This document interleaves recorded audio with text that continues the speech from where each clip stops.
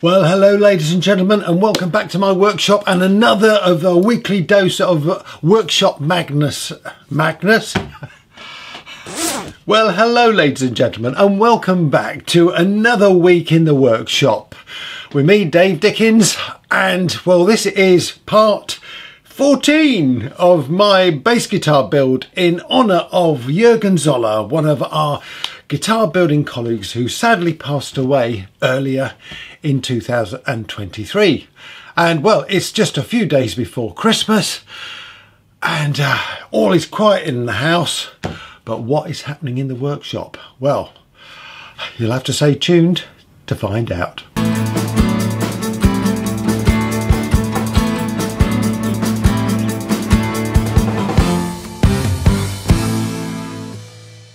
If you watched the last episode, what, you didn't watch the last episode? I'll put a link in it just up there.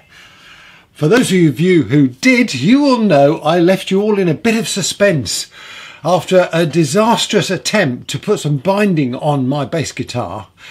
I uh, had one last go at it at the end of the video and uh, well, did it work? Well, ladies and gentlemen, let me show you. There we go. I think it did work.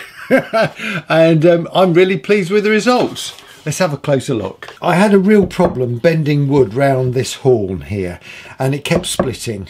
And so um, in the end, I bent it on a, a, very hot, small bending iron and that seems to have done the trick. I, it still needs to be pulled in a bit. It's quite tough there.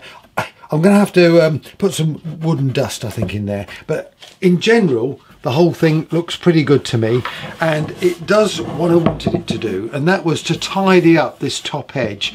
So I turn it round and you'll see you see it's a little bit ugly the way that the the light wood finishes uh, and then it's not in line with the the light wood on the bottom there. So I really wanted to cover that up and just soften it a bit and certainly that to me looks like it's done the job. So um, that's a good plus point. I am going to do something with this join and um, my mind's buzzing about what it is I'm going to do.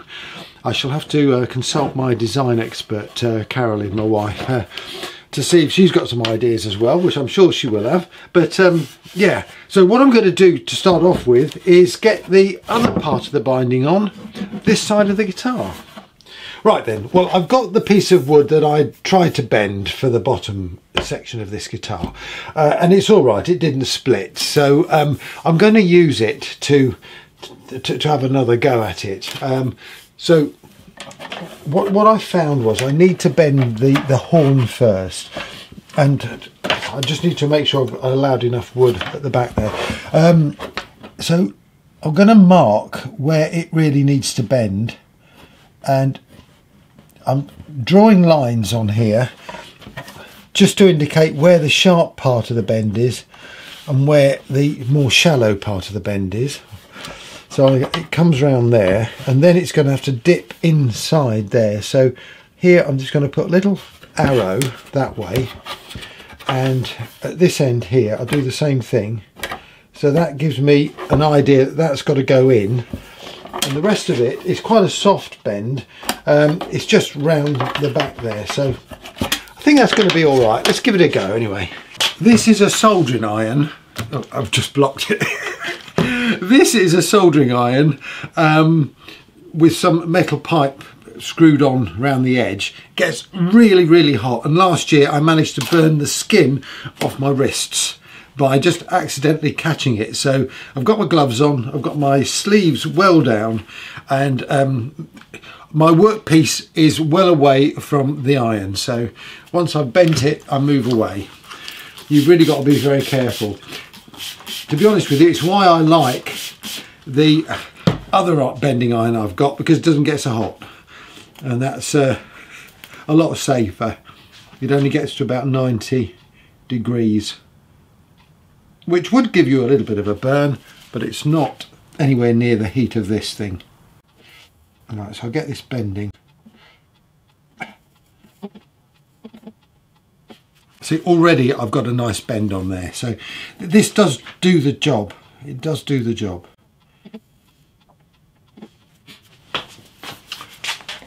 let's see how that's looking that's looking pretty good actually. Um, so I just start this soft bend because it's a great idea marking it all up because as soon as I spray it with water it washes all off. But uh, yeah there we go. You know I'm very much into sort of making music. Um, I have uh, Cubase on my computer and I really enjoy making up tunes.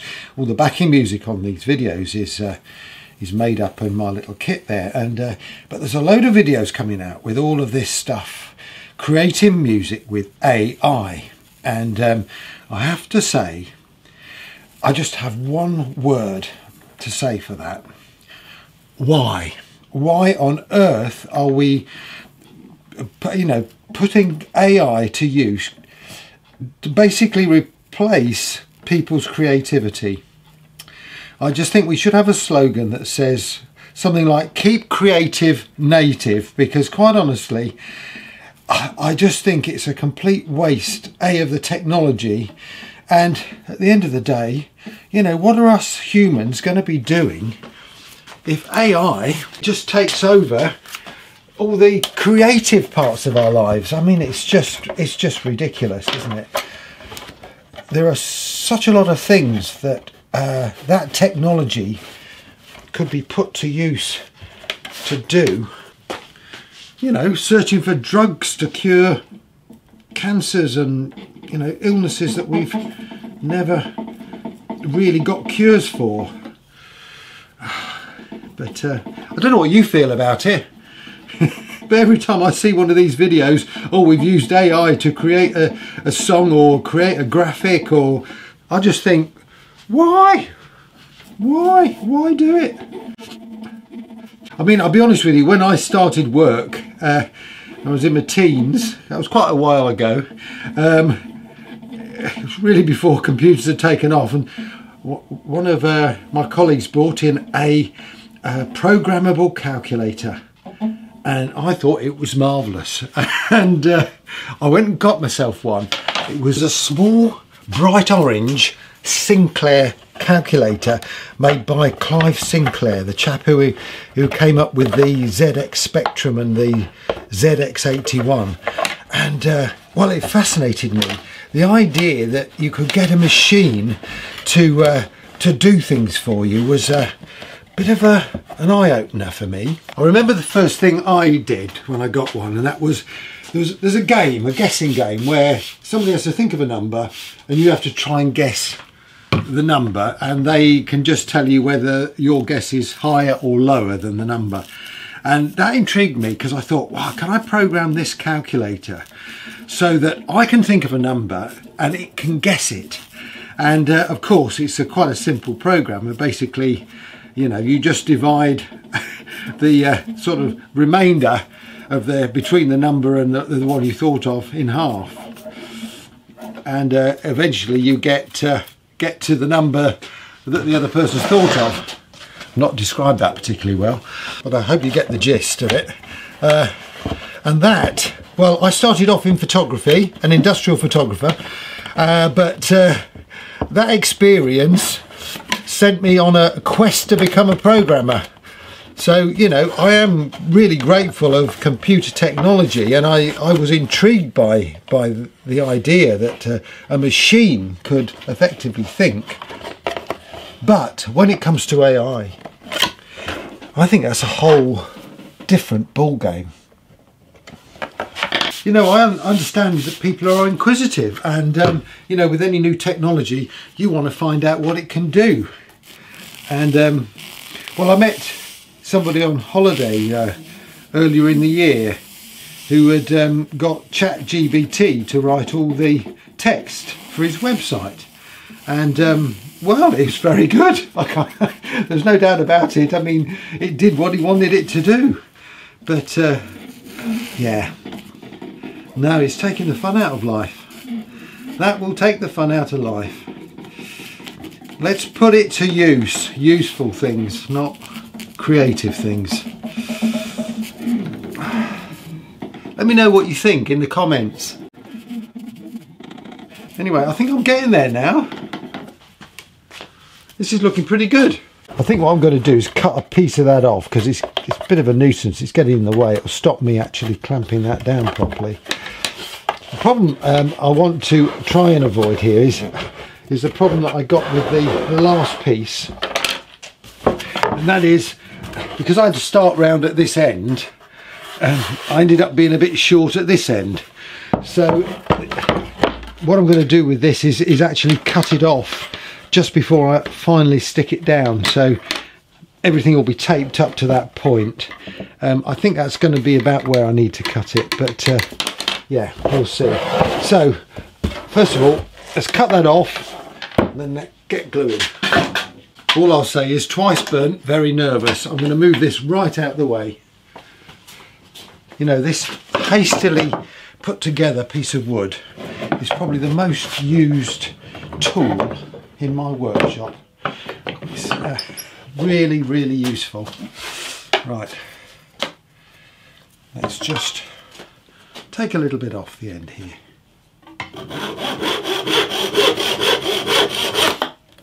That should do it.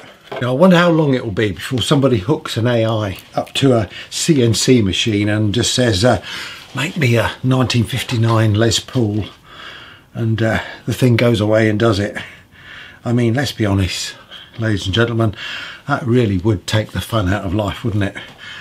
Right, I've got some glue. I've got some veneer. Let's get gluing. Right, I think I'm ready this time. Um, I've got some tape ready to stick on. I've got a little block here which I'm going to put underneath the guitar because it helps when you're trying to stick the tape on. Um, I've also put a brand new battery in the uh, camera so we should be okay to go and uh, well it's just a question of uh, gluing it all up.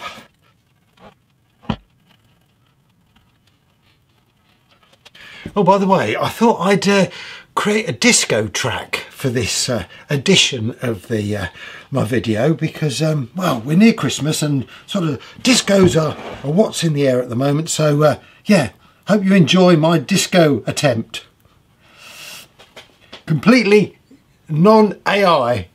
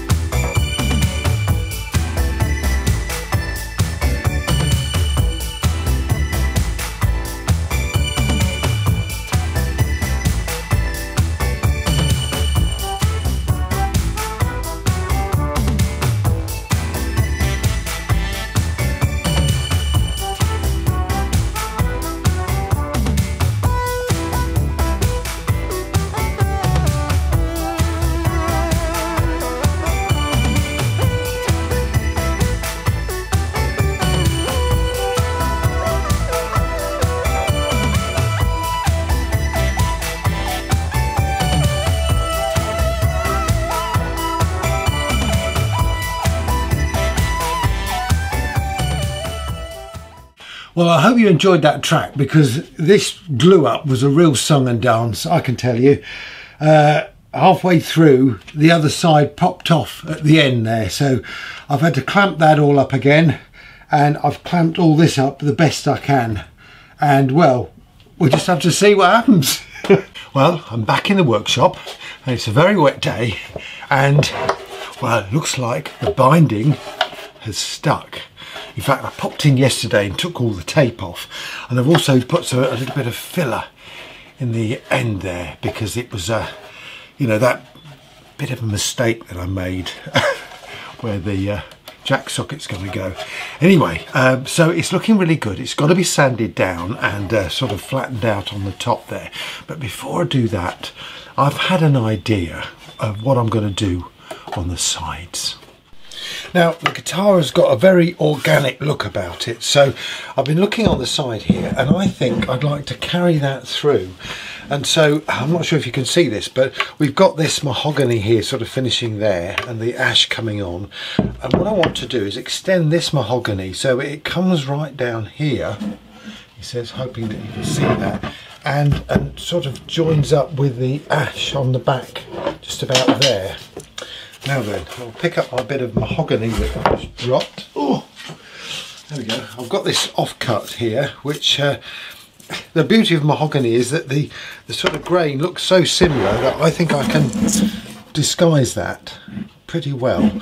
Now then, on the other side, we've got the same thing occurring. Here you see the ash finishes there and the mahogany finishes there.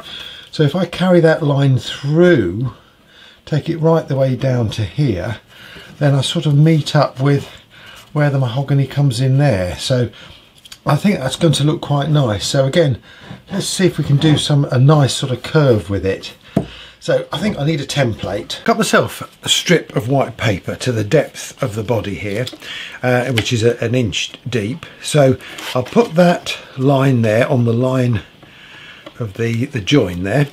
So now I just need to mark where I want this uh, mahogany to cut into. So it's going to start about there and it's going to go through to about there. Okay, so I've got my two marks. Let's see if I can do a curve now. Okay, I've just marked which is the top, so I know what I'm doing.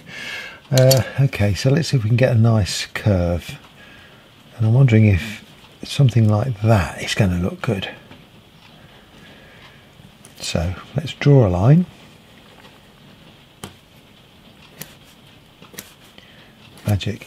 Now I sort of don't want a straight line with a join with this mahogany against the mahogany. So what I'm going to do is actually mirror that that uh, curve over here and create a piece like that. Now I'm hoping that this this join here is going to be quite invisible but um, if it isn't at least there's some sort of shape to it. So I'm going to try this side first if it works we'll try the other sides. I've cut it out and uh, well this is how it's going to look. You've got to imagine that this is not going to be white it's going to be mahogany. Um, I think it could work you know. so Let's cut this shape out of a piece of mahogany. I only need a really thin piece of wood, so I've cut this uh, piece down uh, and I'm going to cut it to about two mil thick because it only needs to be a veneer. So uh, let's see if we can do this.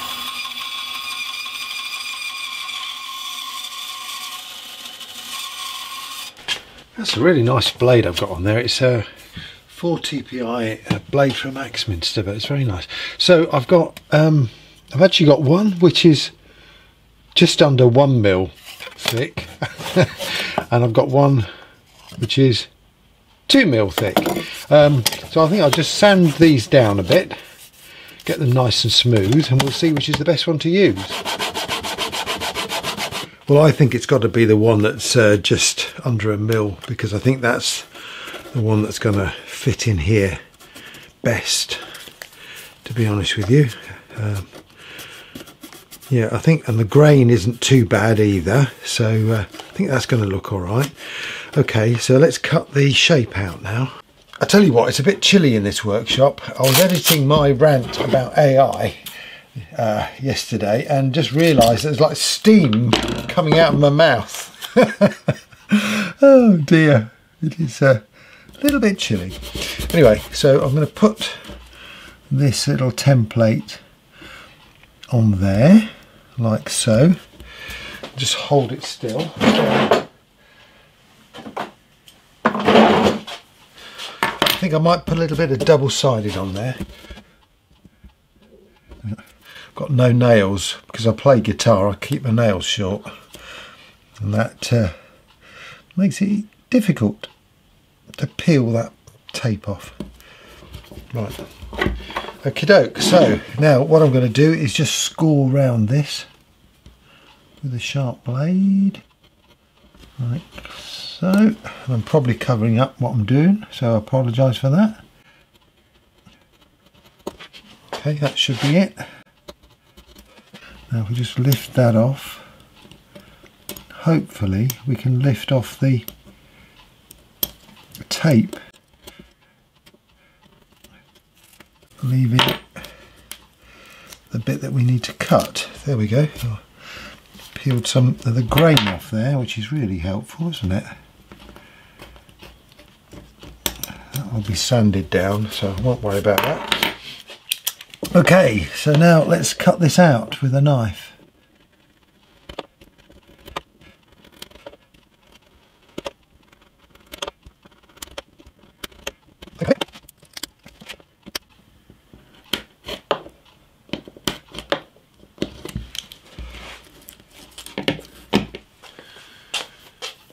Okay, so here we go. That's where it's to fit. Now, it's a question of cutting it out uh, of this guitar. So what I've done, I've got some masking tape on there. I've got masking tape and double-sided tape on the back of this. I'm going to position it where I want it to go. There. That looks about right can actually move this way a little. Let's try again. Trying to match with the top there, so it sort of comes down from that point there, and then on the back finishes where the ash sort of starts. So I think that's about right. I think this is going to be a job for some fine chisels and uh, wood carving tools and a knife. Um, I haven't got to go too deep, as I say, it's just less than a millimetre thick this wood, so yeah, we'll try it anyway. Here we go.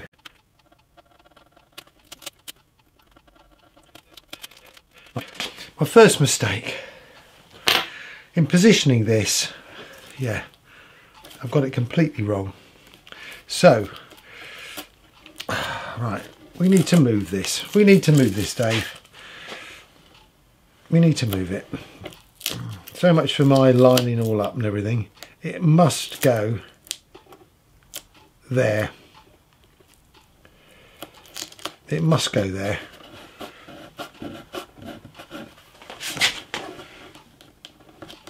And you know what? It's it's good. It's good. It's okay. It's going to be okay. I've saved myself cutting that ah, in the wrong place. Right, got myself a nice sharp blade.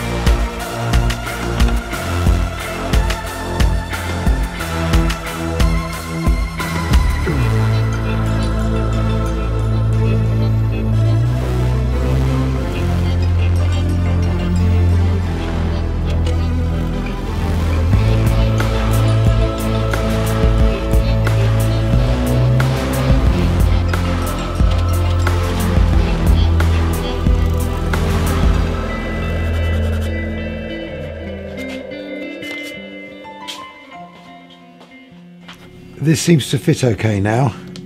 So I think I'm going to glue that in. It looks pretty good. You know, I can I can't fully match the grain there, but um, I think it looks much better than the sharp line that I had before. Sorry, there's a helicopter going over. So, actually just a little bit more sanding to do there, I think. I think we'll get the glue, you know.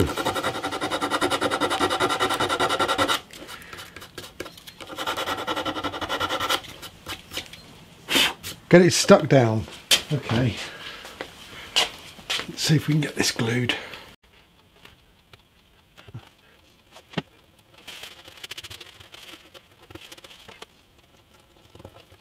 Right. So I'm going to put on these soft pads on there. Put that on the top of there. And then I can reach over and grab this clamp. Just realise that the angle of this is not quite right, so let's uh, adjust the angle. So, now then, can I get this clamp in underneath there and onto there?